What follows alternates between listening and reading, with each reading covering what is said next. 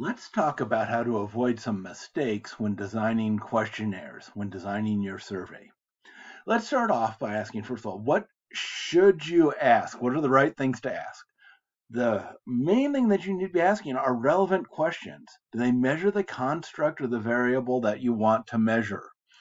Um, and you want to avoid questions that are interesting but are irrelevant to your hypotheses. Now, you're supposed to ask demographic questions at the end so that you can better understand who uh, uh, is participating in your survey, and they're not necessarily related to your hypotheses. But apart from that, you want to avoid irrelevant questions. Secondly, you want to make sure you ask questions that are going to provide accurate responses. And to do so, the questions need to be simple. They as simple as possible so most people can understand them. They need to be understandable. They need to be unbiased, not pushing people in one direction or in the other. They need to be unambiguous so that everybody interprets them in the same way. If they're ambiguous, people are going to uh, interpret it differently. And they need to be non irritating. They shouldn't tick people off because they're obnoxious or they're offensive or things like that. So, what are some specific things that, that we should avoid? Here's a list. The first thing is we need to avoid overly complex um, uh, items. So, like, suppose people were asked to uh, agree or disagree with the statement, My boss has the personality necessary to lead a team in the development of new products and services appropriate for diverse markets. Huh? That's really complicated who knows what the personality necessary is to lead a team in the development of new products and services uh, appropriate for diverse markets?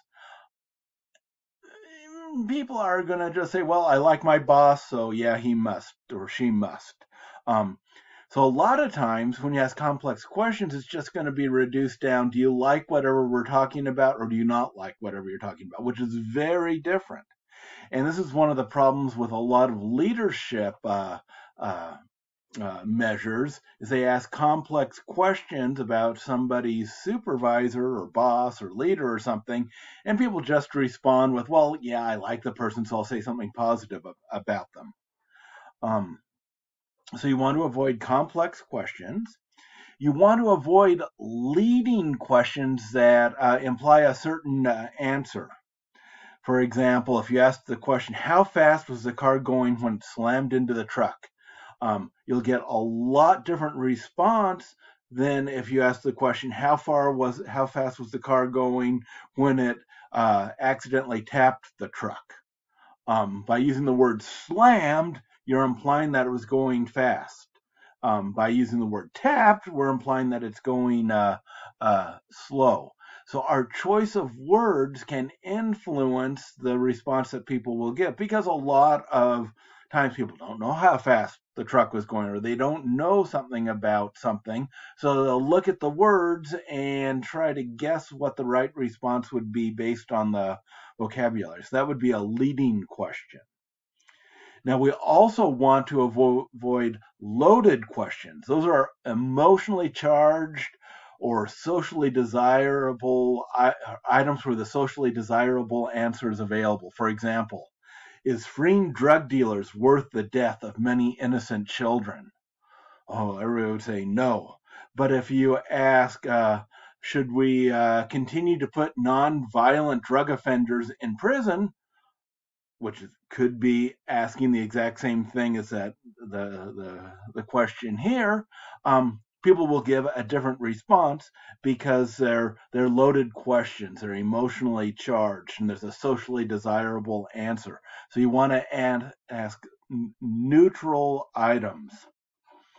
Okay now d is you want to avoid ambiguity. Unclear questions or choices an incomplete range of choices or categories that are not mutually exclusive. For example indicate your age a, 20 to 29, B, 30 to 39, C, 55 and above. Ooh, there's all kinds of issues there. Um, what if you have people under 20? Where do they go? What if you have people in the 40s or their early 50s? Where do they go? 55 plus is really a broad range. You might get far more people in that category than the others. Um, there's a, a lot of ambiguity and inconsistency in that question. Uh, e is double-barreled questions. Double-barreled questions are questions that go off in two different directions, like a double-barreled shotgun. They kind of go off in different directions, and you hit more things with a double-barreled shotgun. Um, and these often contain the words and, or, that, which, because they have two clauses in it, or two subjects, or two objects. Um, so, for example, do you like your boss because of his or her leadership abilities? Ooh, that's double barreled, but maybe I like my boss because, but it's not because of their leadership abilities. How do I answer that? Or maybe I like my boss's leadership abilities, but I don't like him or her as a person. And so people don't know what direction to take this question because it's going off in, in two different directions. That's a double barreled question.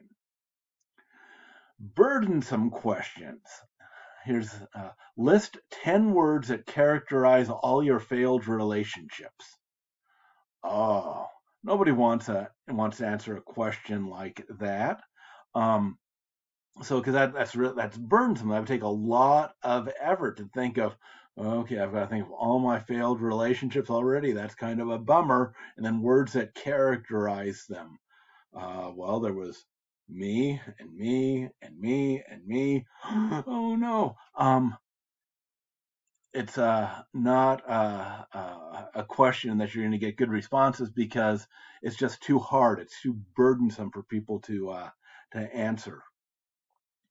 And then uh, you want to avoid questions that won't generate uh, variance, where most people will mark the same thing. So how often do you help your co- coworkers? Never, occasionally, or often? I think almost everybody would say often. We're not going to get much variance there. We need to ask, uh, have choices that would give us a uh, very wide range of uh, uh choices. Never, occasionally, often, very often, constantly. That would probably give you more uh, of a range of answers. You want to avoid inapplicable questions that don't apply to the, the person that's taking the survey. For example, the question, was your first pregnancy easier or more difficult than your second pregnancy? Some of you could answer that, but probably most of you couldn't answer that because you haven't had two pregnancies. Um, this assumes that you've had two pregnancies. And if you haven't, then you can't can't answer that. So if you do need to ask questions like that, you need to use what's known as skip logic when you design the survey, where you skip questions if somebody doesn't meet the conditions. So only the relevant, only people that meet the conditions have the relevant questions. Now, generally, you have to pay for surveys that have skip logic. Google Forms, as of this year, doesn't have skip logic in it. So you can only ask items that are relevant to everybody, or you give instructions, skip the next item if it doesn't apply to you. But that doesn't work very well because people try to answer it anyway because they don't read instructions. Some people don't read instructions very well. Now, you want to also avoid ranking questions with more than four choices because um, they're burdensome. It's another example burdensome. What I mean by ranking is saying, oh, list your favorite, your least favorite, such and such. So an example would be rank the 50 states from the states you most like to the states you least like. Oh, that would take somebody forever. And they get to North Dakota and South Dakota and they don't know which one they would rather live in. Um, and it's just too hard for them. They could spend forever on it. Um, so avoid ranking questions. Now, if they have four choices, people generally can rank four choices, but when it gets up to five, six, seven, it gets really hard for people and, it, and too burdensome. You want to uh, avoid force answering. That means requiring an answer, typically marked by a star in a survey. Um, Open ended questions, where people don't want to type in things, or controversial questions. So if you had what is your gender and you just had two choices male and female there are a few people that are going to get really frustrated with that and really upset and they don't want to do either and they'll just give up on the survey um, So you don't want to make uh, um, those questions mandatory. And for questions like what is your gender, um, I typically add a, a choice male, female, or a third other slash prefer not to state. I don't ask for a fill in the blank because TMI, too much information.